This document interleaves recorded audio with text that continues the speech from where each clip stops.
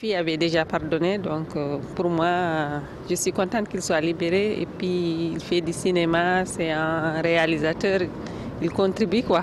Mon Avril devrait rester en prison, malheureusement. Il a fait des très beaux films, mais s'il a violé une gamine, c'est pas bien.